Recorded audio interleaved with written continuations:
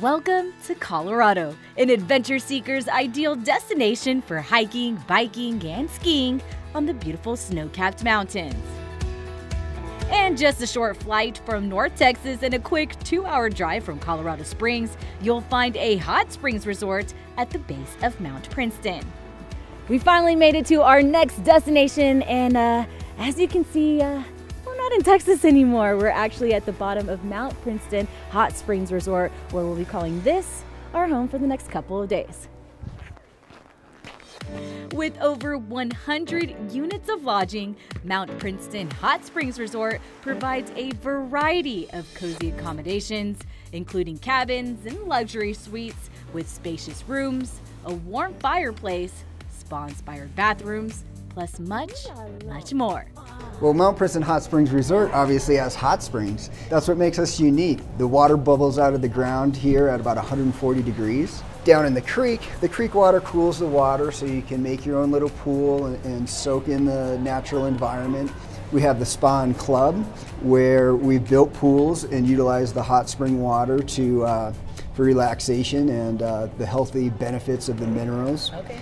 For all our guests, we offer uh, fitness classes every day. So you can come in and you can do a water yoga class, no aerobics, or even we put um, aqua bikes in the water and you can do an aqua bike class. How cool is that? There's so much to do in this area. In the summer, this place is known as a whitewater rafting destination. Okay. In the winter, we have snowmobiling, fat biking has been getting very popular. Monarch Mountains right up the road. So it's a winter wonderland, and uh, it, it's definitely a very unique time to experience the uh, Buena Vista and Salidas during the winter. You know, you did mention Monarch Mountain and Salida. Those are some of the places that we're going to be hitting up here on this trip. So, what can we do out there? What are some maybe some tips, advice for some novice like us? Well, you're going to love Salida, Colorado. It's uh, Colorado's largest historic district, and it's filled with art galleries. It's located right on the Arkansas River, where um, there's play holes for kayaks in the summer, and we have whitewater festivals there, music in the park, and uh, there's just a lot of history down there. And you can even take a, a walking tour with the local historian. So I'm going to meet, I'm going to introduce you to uh, to Steve later today. Well, thanks. Yeah, that sounds like a lot of fun.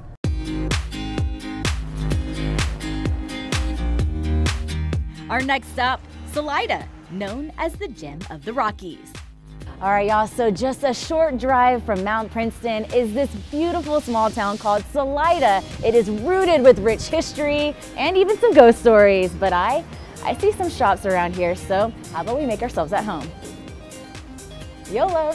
Salida sits along the upper Arkansas River Valley in the middle of Colorado. It's a charming small town with lots to offer. So, to give us a tour on downtown Salida, we met up with Steve.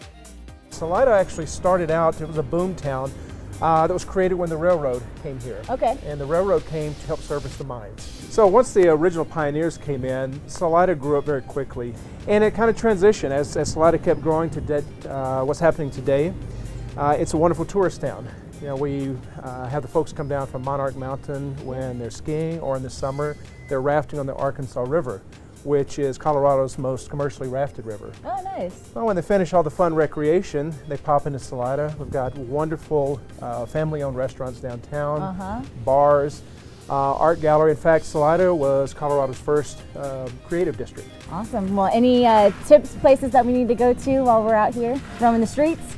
Well, absolutely. You've got the art galleries nearby. I think you guys are going to head over to uh, Woods, the uh, distillery soon, and uh, you can't go wrong with any of the restaurants. They're all really fan uh, fantastic. Well, do you mind showing us the way? Absolutely. All right.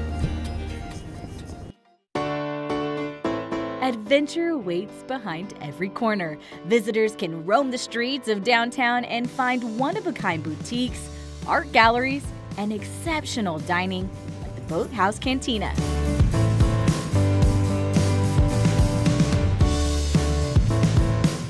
Once you grabbed a bite to eat, stop into an art gallery, chat with the artists, and watch a live painting right before your eyes. There's artist-owned studio galleries. Um, everyone's doing something unique from furniture to monsters to, you know, fine art like mine, which is kind of impressionistic realism. Okay. And some of the others are even doing art of various kinds. You know, the, the monster maker across the street's in there tinkering away. Um, the potter might be in there throwing pots. Everyone's got to work for a living, but you might as well offer a, a foot trafficked uh, studio as well, I think. Right. And I think that is what makes Salida so fun and unique for people to just wander around in, you know? Need a warm up from the crisp, cool weather? Woods High Mountain Distillery will do just the trick. Choose from whiskeys or gins or even a specialty cocktail. It's all locally sourced and locally made right here in Salida. Well, and then a little side note, little birdie told me that not only are you the owner of this distillery, but you're also the mayor of Salida as well. So, what do you love about Salida and why bring Texans out here and explore? So it's a, it's just a really genuine tra- town. We don't really have any uh, kind of chain stores. Everything is like locally owned. You know, they're small, genuine small businesses downtown. Um, you know, the art galleries, the distillery, um, the clothing stores, all that. That you know, you go in there, the owner's standing there behind the counter helping you out. It's really uh, makes for a uh, for a real genuine experience, I think. Yeah. And we're super nice folks too. Cheers to the friendly folks and a successful day one in Salida, Colorado. Now that is refreshing. Right? That's good stuff right there.